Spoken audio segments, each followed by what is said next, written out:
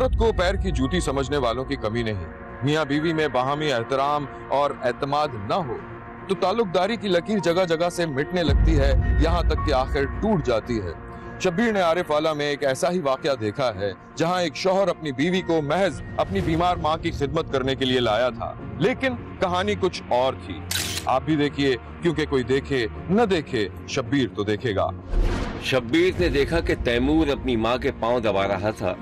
और माँ बेटे को दुआएँ दे रही थी। अम्मा अब कुछ दर्द ठीक हुआ? हाँ बेटा चल चलाओ का टैब। कुछ आराम तो आया है वैसे। तैमूर मैं सोच रही हूँ तेरी शादी करवा दूँ ताकि मैं सुकून से मर सकूँ। अम्मा कैसी बातें कर रही हो? और वैसे भी तुम परेशान मत हो मैंने तुम्हारे लिए बहू देख रखी है। तैमूर के इस इंकशाफ पर माँ बिजली की सी तेज़ी के साथ खड़ी हो क्या हो गया अम्मा तुम्हें खुशी हुई ना ये सुनकर? क्या हो गया? तेरा दिमाग तो ठीक है? मैंने सिदरा को जबान दे दी है। क्या मुँह दिखाऊँगी मैं उसे? अम्मा पहली बात तो ये कि मुझे खानदान में शादी करनी नहीं है और सिदरा मुझे वैसे भी पसंद नहीं है। मैं जिस लड़की को पसंद करता हूँ वो इस्लामाबाद में रहती है। और जो तुम कहती हो ना कि तेरे लिए चाँद सी बहू लाऊँगी चाँद सी बहू लाऊँगी तुम उसे देखोगी तो खुशी के मारे खिल जाओगी बेटे की बात सुनकर माँ का सांस चढ़ गया और वो मुट्ठियाँ भींच कर अपने गुस्से पर काबू पाने की कोशिश करने लगी। अरे तैमूर क्यों अपनी बीमार माँ को जल्द से जल्द मारना चाह रहा है तू? जब मैं मर जाऊँ तो कर ली जो शादी। तेरी शादी सिदरा से ही होगी मैं बता ही दे रही हूँ। ठीक है करवा दो अपनी भांजी से मेरी शादी फिर। लेकिन अगर मुझे कुछ हो गया ना तो बाद में कुछ मत कहना। अरे तुझे कुछ नहीं होने वाला। इतनी प्यारी लड़की है। देखी भाली खानदान की खूबसूरत बच्ची। है? तेरी खिदमत करेगी और क्या?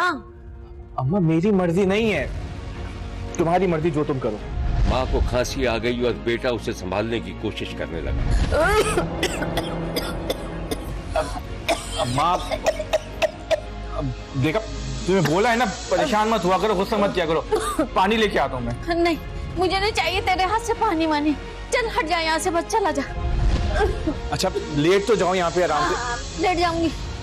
जा तू दफ़ा हो जा जब मैं मर जाऊँ ना तो कर लेना जहाँ दिल चाहे शादी मेरे होते हुए मैं दूसरी बहू नहीं लाऊँगी कोई और सिद्धरा ही आएगी मेरी बहू बन के इस घर में। अच्छा अच्छा भी आप शक्ल घूम कर ले अपनी। नहीं अच्छा लग रहा तू। माँ हाँपती कांपती बेड पर लेट गई और बेटा उस पर चादर डालकर चला गया।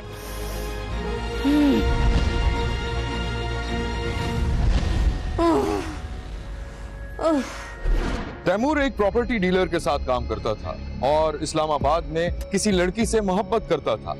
एक तरफ़ माँ की जिद थी और दूसरी तरफ़ वो लड़की किसी भी हाल में तैमूर को खोना नहीं चाहती थी।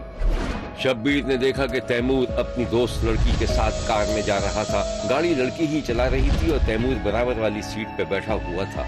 लड़की ने लबे सड़क एक किनारे पर अपनी गाड़ी रोक दी बराबर से ट्रैफ़िक गुजर रहा था। तुमने बात की अपने घर में? अम्मी पूछ रही थी कि तुम कब भेजोगे अपने घर वालों को? नायला मैं बहुत परेशान हुआ। मैंने तुम्हें बताया था ना अम्मी की बीमारी के बारे में। क्या हुआ उनको? क्या। जब मैंने उन्हें तुम्हारी और अपनी दोस्ती के बारे में बताया तो शरीर गुस्से के आलम में आ गए। वजह से उनकी तबीयत खराब हो गई। हॉस्पिटल लेके भागा। एक हफ़्ते हॉस्पिटल में रही। तबीयत उनकी ठीक नहीं है। उनको सदमा पहुँचा है। ये जानकर के तुम्हारी मेरी दोस्ती। लेकिन वो खुश नहीं है तुम्हारी और मेरी दोस्ती। तो फिर? क्या? मेरे ख्याल में पहले यहाँ से तो निकलो। अजीब सा लग रहा है लोग आते जाते देख रहे हैं। सुकून से बैठ के बात करो। ठीक है। चाय के लिए चलते नायला और तैमूर दोनों दौरान सफ़र बातें करते रहे।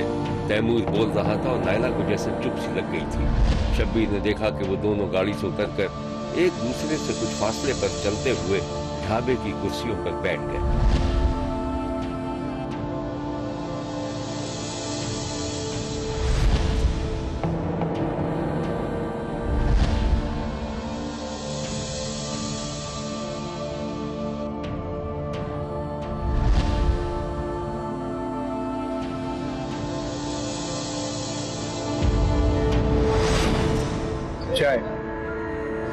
दो चाय लाइएगा प्लीज़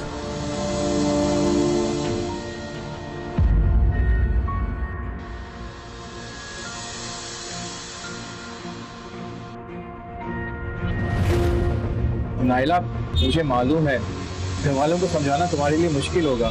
तो मेरी भी तो मजबूरी समझने की कोशिश करो। तैमूर मैं तुमको पहले भी बता चुकी हूँ। मुझे तुमसे कुछ नहीं चाहिए। तुम क्यों नहीं समझते हो इस बात को? देखा एक बार अम्मा की ख्वाहिश पूरी होने दो। करने दो मुझे उनकी पसंद है शादी। मैं वापस तुम्हारे पास ही आऊँगा तुमसे ही शादी करूँगा। शादी। दूसरी शादी करोगे मुझसे। मुझे यकीन दहानी करवाने की कोई ज़रूरत नहीं है। जो तुम्हारी अम्मी कहती है, वो करो, तुम तैमूर और वैसे भी, तुम्हारे होने या ना होने से मुझे कोई फ़र्क नहीं पड़ता। मेरे ख्याल में नायला, तुम अभी ज़्यादा ही जज्बाती हो रही हो। जब सुकून से सोचोगी तो तुम्हें मेरी मजबूरी का एहसास होगा। मेरे ख्याल में चाय पी के चलते हैं यहाँ से। इस टॉपिक पे बाद में बात करेंगे। नायला खामोशी से उठी और ड्राइविंग सीट पर जाकर बैठ गई। उसने गाड़ी स्टार्ट कर दी। तैमूर भी खामोशी से बराबर वाली सीट पर बैठ गया और फिर वो दोनों कहीं बहुत दूर जाते दिखाई दिए। यहाँ लेते हैं एक छोटा सा ब्रेक कहीं जाइएगा नहीं हमारे साथ रहिएगा क्योंकि कोई देखे न देखे शब्बीर तो देखेगा। तैमूर कहाँ हैं आप? हाँ वो आ, एक साहब की कॉल थी। उनसे ज़मीन के सौदे की बात चल रही है ना? क्या चल रहा है? क्या नहीं चल रहा? मुझे क्या पता? क्या करती हूँ मैं? अयाशियाँ करती हूँ गैर आदमियों के साथ घूमती हूँ। अयाश आदमी तो तुम हो। अगर बच्ची का ख्याल ना होता ना तुम्हारी शक्ल नहीं देखती मैं। बस बंद करो। और कान खोल कर सुन लो। अगर शराफत से ज़िंदगी गुजारनी है ना तो चुपचाप यहाँ आ जाओ। सिद्रा सुनो। क्या हम आज बाहर आउटिंग पे चले? दिल चाह रहे तुम तैयार होकर आ जाओ प्लीज़ हम आज मोटरसाइकिल पर चले। तैमूर ने नायला को इस बात पर राज़ी कर लिया था कि वो दूसरी शादी उसी से करेगा। और फिर तैमूर की शादी उसकी माँ की पसंद से सिदरा से हो गई। वो एक बच्ची का बाप बन गया और इस दौरान अपनी बीवी से जान छुड़ाने के लिए उस पर मुबैना तशद करता रहा। तैमूर घर के सहन में नायला से फ़ोन पर बात कर रहा था कि ऐसे में उसे अपनी बीवी की पुकार सुनाई। अच्छा। तैमूर? आप अच्छा सुनो सिद्रा आवाज़ दे दीजिए मैं बाद में कॉल करता हूँ तुम्हें। तैमूर कहाँ हैं आप? आ, हाँ वो आ, एक साहब की कॉल थी। उनसे ज़मीन के सौदे की बात चल रही है ना। क्या चल रहा है? क्या नहीं चल रहा? मुझे क्या पता? अच्छा ये बताएँ रखे रखे चाय ठंडी हो गई गर्म कर दूँ? एक सेकंड ये तुम आजकल मुझ पर इतना तंग क्यों कर रही हो? दिमाग तो ठीक है तुम्हारा? मेरा दिमाग तो बिल्कुल ठीक है लेकिन आजकल आप बहुत हवाओं में उड़ रहे हैं। मुझे सब पता है। रहने तो मैं ठंडी ही चाय पी लूँगा। एक बात कान खोल कर सुन लो। अगर तुमने मेरे मामला में टांग अड़ाई ना तो मुझसे बुरा कोई नहीं होगा। मैं तुम्हें आप अपने लिए शादी करके नहीं लाया बल्कि अपनी माँ के लिए लेके आया हूँ। कैसे दिमाग है वो? क्या मतलब है तुम्हारा? क्या मतलब है? धमकी दे रहे हो तुम मुझे? दो तलाक अम्मा तैमूर ने बीवी के मुँह पर हाथ रख दिया। अम्मा को क्यों मार देगी वैसी को बीमार है। तैमूर ने बीवी को धक्का देकर गिरा दिया जिस पर वो मजीद गुस्से में आ गई और अपने शोहर का मोबाइल छीन कर उसे चेक करने की कोशिश करने लगी। भाई वापस करो मेरा अरे तो ये कैसी आवाज़ें हैं? कैसी चीखों पुकारे ये? आज लेके जाओ इसे। दिमाग खराब करके रख दिया इसने मेरा। ऐसा ना कि मैं कुछ कर बैठूं। मर्द के बच्चे हो ना तो कुछ करके दिखाओ। और? अम्मा ये समझता है मुझे कुछ पता नहीं है। मुझे सब कुछ पता है तुम्हारी हरकतें। क्या क्या किया मैंने? हाँ चोरी की है। क्या कटा रहा है मैंने? अरे चुप जब पूरा मोहल्ला तेरी आवाज़ें सुन रहा है। और तू इधर आ। इससे तो मैं बाद में निपटूँगी। लेके जाओ दफ़ा जाओ यहाँ से। अरे चुप हो जा कह तो रही हूँ। बोले चला जा रहा है। दिमाग खराब करके रख दिया।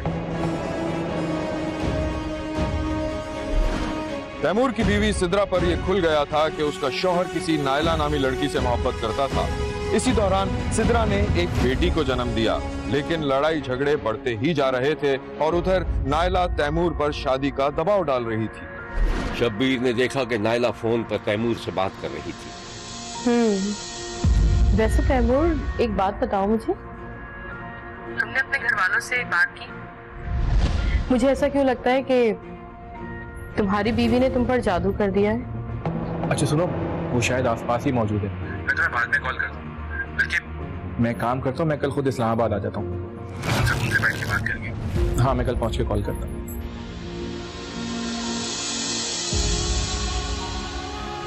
तैमूर को समझ में नहीं आ रहा था कि वो क्या करे। रोज़मर्रा के लड़ाई झगड़े और तशद्दुद से तंग आकर सिदरा अपने घर जाकर बैठ गई थी। उधर नायला भी शादी के लिए दबाव डाल रही थी। तैमूर अपने साले से जाकर मिला और दोनों में झगड़ा हो गया। शब्बीर ने देखा कि तैमूर और उसके साले के दरमियान शदीद नोयत की झड़प हो रही थी। तैमूर साहब आपको शर्म आनी चाहिए। इतना मारा है आपने मेरी बहन को। सारे जिस्म पर नील पड़े हुए हैं।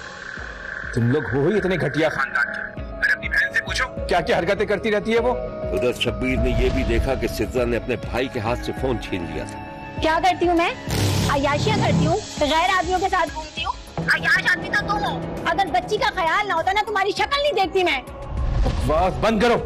और कान खोल कर सुन लो। अगर शराफत से ज़िंदगी गुजारनी है ना। चुपचाप यहाँ आ जाओ। मैं तुम्हें लेने वेने नहीं आऊँगा। और हाँ अपने भाई से बोलो कि बहनोई से जरा तमीज से बात किया करे। खुदा हाफिज। हेलो? हेलो? मुश्किल इंसान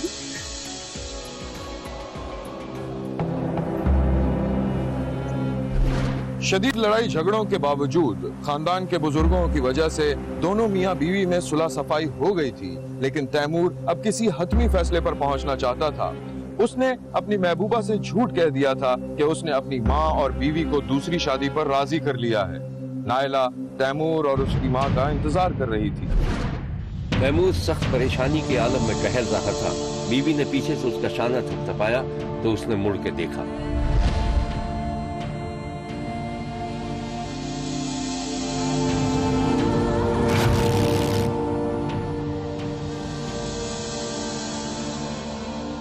बांधे चाय लेके हाजिर है।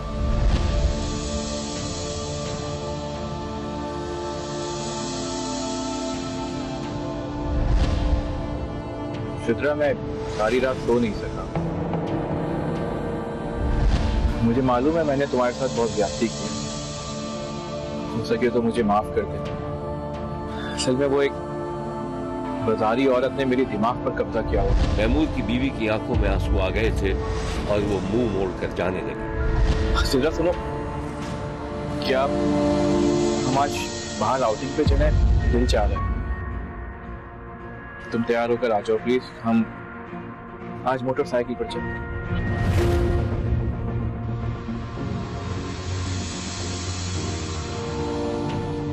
सिदरा ने मुड़कर अपने शोहर की तरफ़ देखा और फिर दूसरे ही लम्हे वो दोनों मोटरसाइकिल पर जाते दिखाई दिए।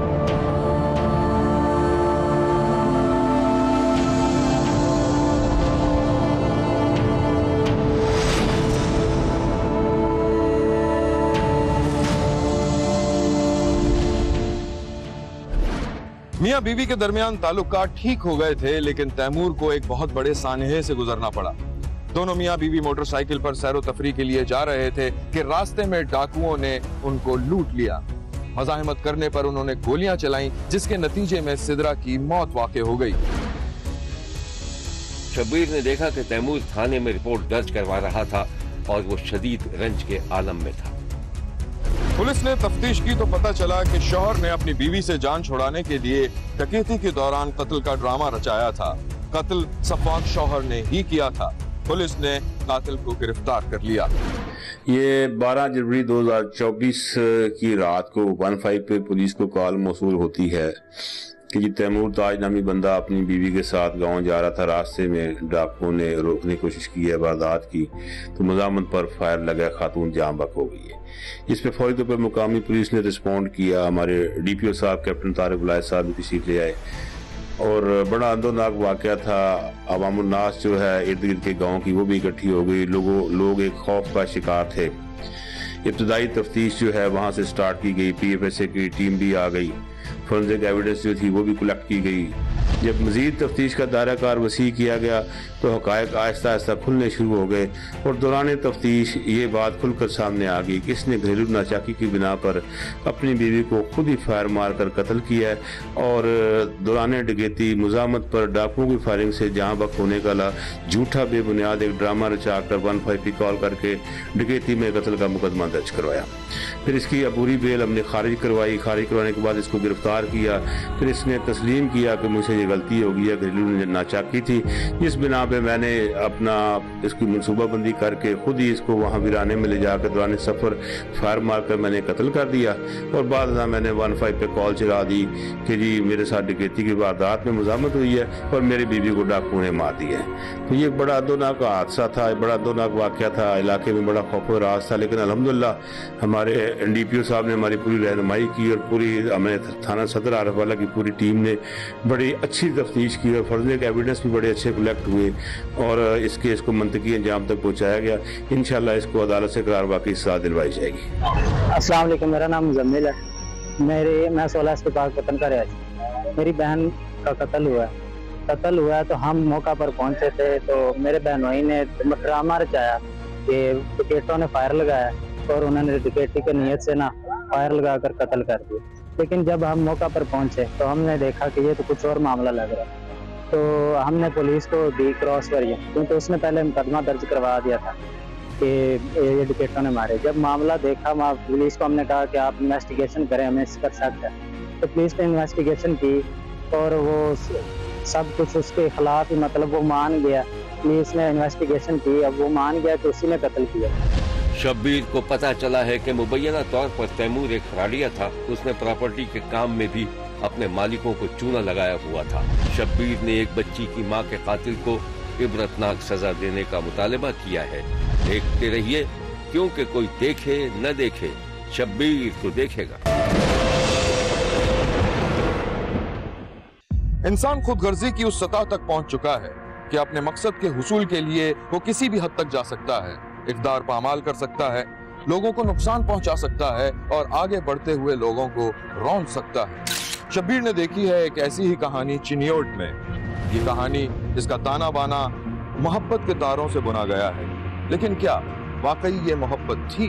मैं हूँ पारस मसरूर और आप देख रहे हैं कोई देखे, न देखे, शब्बीर तो देखेगा। शब्बीर ने देखा कि समिया का छोटा सत्रह अठारह साल का भाई अपनी बहन के घर में था। उसके चेहरे पर गुस्से और झुंझलाहट के आसार थे और वो अपने मोबाइल फ़ोन में मसरूफ था। समय घर के काम काज में मसरूफ थी। भाई के सामने से गुजर हुआ तो वो एक लम्हे को ठहर गए हैं? तुम कब आए? और दरवाज़ा किसने खोला? खुला हुआ था। खुला हुआ था? अच्छा और ये तुम्हारा मुँह क्यों लटका हुआ है? खाना खाया तुमने?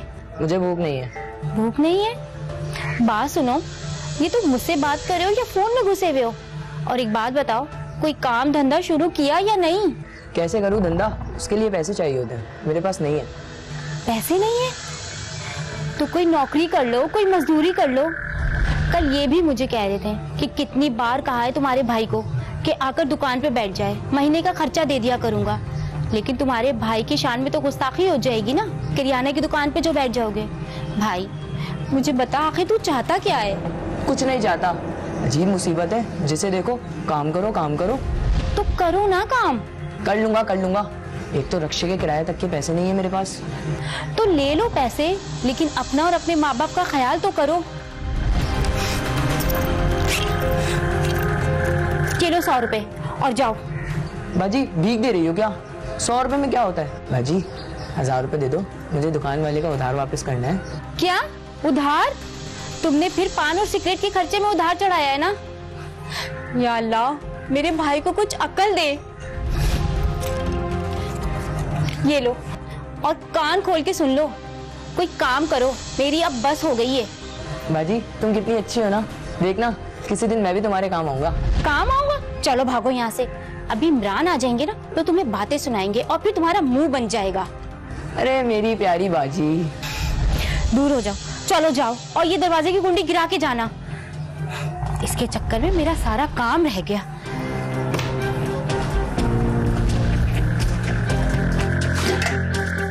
समिया की पाँच बरस पहले शादी हुई थी। वो एक बच्ची की माँ थी। फजूल खर्च और दिल फेंक किस्म की शख्सियत थी। इसी वजह से शोहर से अक्सर झगड़ा रहता था।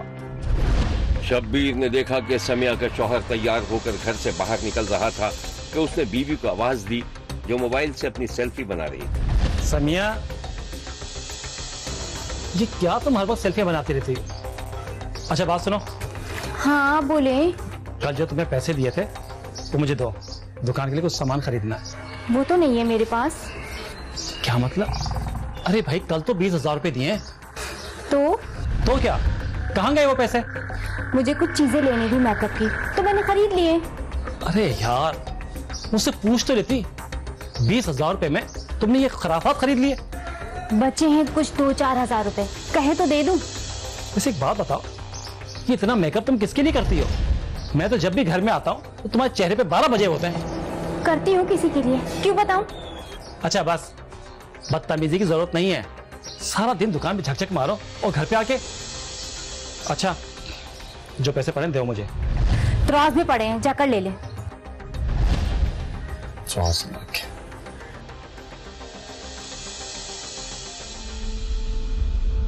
सेल्फी नहीं बनाने देता। एक पिक्चर बनाओ तो उस पर भी आ जाए अच्छा बात सुनो।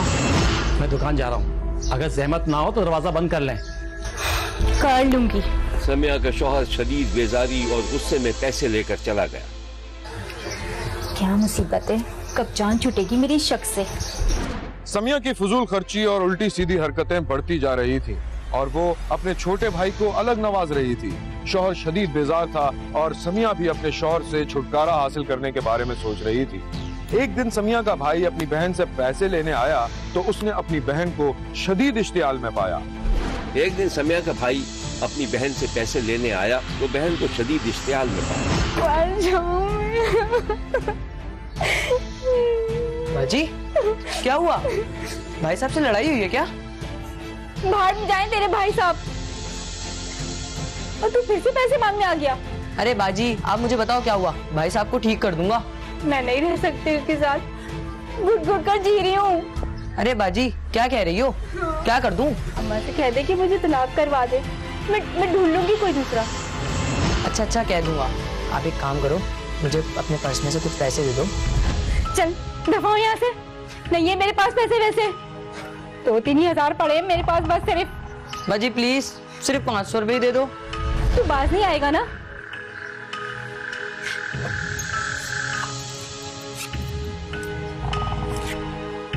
चल जा यहाँ से।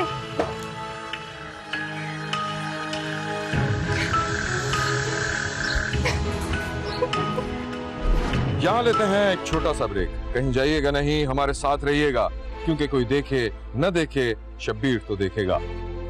ये कौन है? बहन है तुम्हारी? हाँ।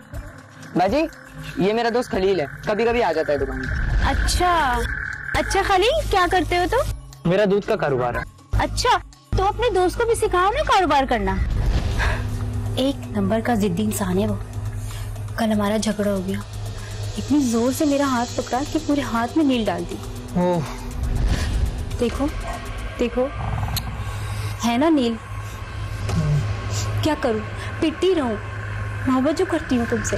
देखो अब मेरा खून खोल रहा है। तुम ना एक दफ़ा उसको समझा दो वरना खामा खामे खून हो जाएगा। होता है तो हो जाए। जान तो छुटेगी ना मेरी। बहनोई की लान तान और डांट डपट का समिया के भाई पे इतना तो असर हुआ कि वो कुछ वक्त के लिए अपने बहनोई की दुकान पर नौकरी करने लगा। और वहाँ पर खलील नामी उसका दोस्त भी आने लगा। शब्बीर ने देखा कि समिया ने किचन में चावल निकालने के लिए डब्बा खोला तो वो खाली था। उसे शदीद कोफ्त हुई। उसने कुछ देर सोचा और फिर खुद ही अपनी दुकान पर पहुँच गई जहाँ उसका भाई और उसका एक दोस्त मौजूद था। क्या कर रहा है? टॉफियाँ रख रहा हूँ। गिरा गएँगे ना? अजी तुम? हाँ घर में चावल खत्म हो गए देना एक थैली। अच्छा देता हूँ। और कुछ तो नहीं चाहिए?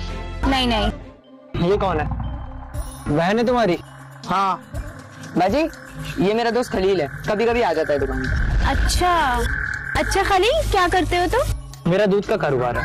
अच्छा तो अपने दोस्त को भी सिखाओ ना कारोबार करना। ऐसे तो मैं कहता रहता हूँ। अच्छा इरफान भाई आए ना तो तुम दोनों घर आ जाना। मैं बिरयानी बना रही हूँ। बाजी भाई तो शाम में आएँगे।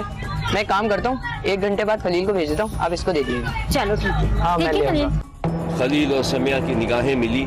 जिनमें बहुत कुछ था। समिया ने अपनी अदाओं से अपने भाई के दोस्त को अपना दीवाना बना लिया था और भाई को भी इस एतमाद में ले लिया था कि वो अपने शौहर से तलाक लेकर उसके दोस्त से शादी कर लेगी।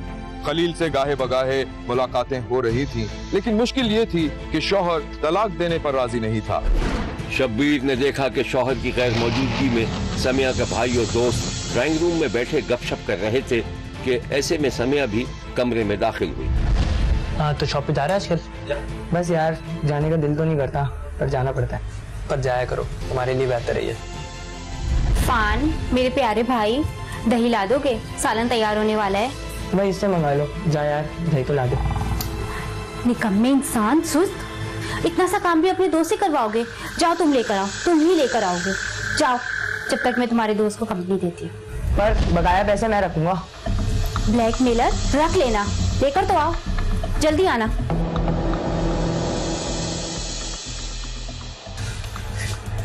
अच्छा ये बताओ तुमने बात की थी उससे? एक नंबर का जिद्दी इंसान है वो। कल हमारा झगड़ा हो गया। इतनी ज़ोर से मेरा हाथ पकड़ा कि पूरे हाथ में नील डाल दी। ओह। देखो देखो। है ना नील? क्या करूँ? पिटती रहूँ। मोहब्बत जो करती हूँ तुमसे। देखो अब मेरा खून खोल रहा है। तुम ना एक दफ़ा उसको समझा दो। वरना खामा खामा खून हो जाएगा। होता है तो हो जाए। जान तो छुटेगी ना मेरी। किसकी जान छूट रही है? ये लो बाजी भाई। यार मेरी बात सुन। कैसा भाई है तू? दिखाओ इसको नील। ओ बाजी। तेरी बाजी पिट रही है और तुझे कोई परवाह नहीं है। अब पानी सर से ऊपर हो गया। यार एक काम कर, तू आज चल मेरे साथ बल्कि नहीं? मैं जाता हूँ, दो टोक बात करता हूँ। अगर शराफत से मान गया तो ठीक, वरना फिर कुछ करना पड़ेगा। और फिर वही हुआ जिसका डर था। समिया के भाई और आशिक ने मिलकर एक रोज बहाने से समिया के शोहर को कुछ खिलाकर बेहोश कर दिया और फिर सिलेंडर की गैस खोलकर आग लगा दी। समिया का शौहर जलकर कोयला हो गया। मुलजिमान ने इस बदतरीन कत्ल को हादसे का नाम देना चाहा, लेकिन पुलिस के सामने बहुत जल्द ही हकीकत आ गई और तमाम मुलजिमान को गिरफ़्तार कर लिया गया।